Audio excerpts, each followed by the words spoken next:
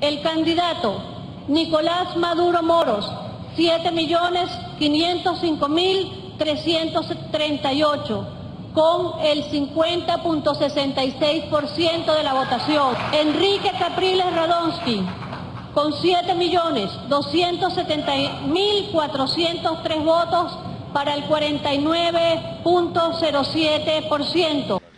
Yo quiero decirle al candidato al gobierno, el derrotado el día de hoy es usted.